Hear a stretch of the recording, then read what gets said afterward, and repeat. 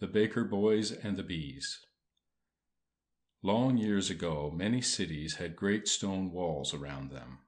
The walls were built to keep out enemies, for in those days cities often went to war with one another. The city of Andernach had around it one of these great walls. There was only one gateway into the city, and this gateway was guarded by strong iron doors. Just behind the doors lived a gatekeeper, who did nothing but open and shut the gates. He watched them well. No one could come in who was not friendly to the city.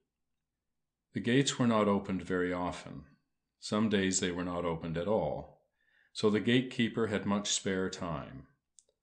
"I am very fond of honey," thought he. "I think I will buy a few hives of bees.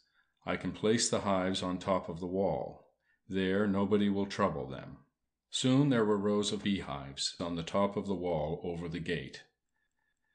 It happened that, not far away, there was another walled city named Linz. The people of Linz were the enemies of the people of Andernach. They were always watching each other, and fought when they could get a chance. Now the people of Linz planned to attack and capture the city of Andernach.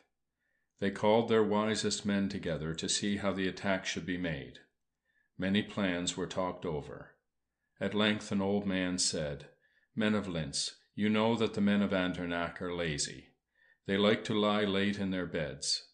If we attack the city at sunrise, we shall capture it before they can get their eyes open." This plan seemed wise to the people of Linz, and an army was soon ready to march against the city of Andernach.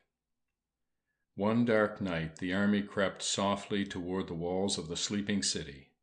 The only people who rose early in Andernach were the bakers.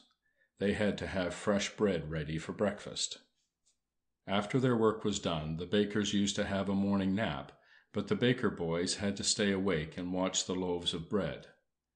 Two of these boys, named Hans and Fritz, were fast friends and were always together.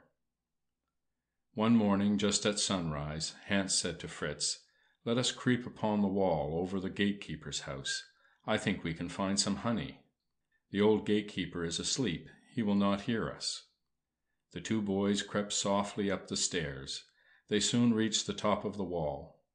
"Did you hear that noise?" whispered Fritz. "Yes, it must be the old gatekeeper," said Hans, in a low voice.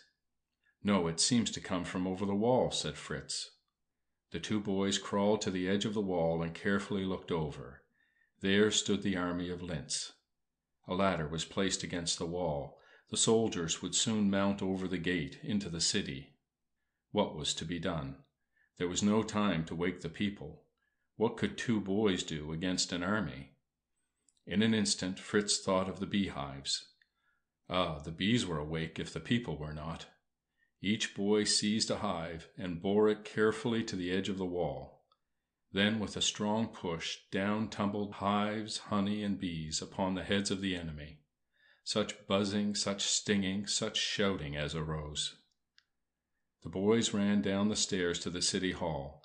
The old bell ringer was aroused by the cries. Soon the wild clang of the bell awoke the people of Andernach. Armed men ran to the city gate, but the bees had done their work well. There was no need for soldiers. The army of Linz was running away. Over the great gate the people of Andernach placed a statue of the two baker boys whose quick wit had saved the city.